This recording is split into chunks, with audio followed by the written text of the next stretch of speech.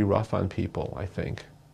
Um, but in some ways, it was, it didn't take long for life to get back to normal.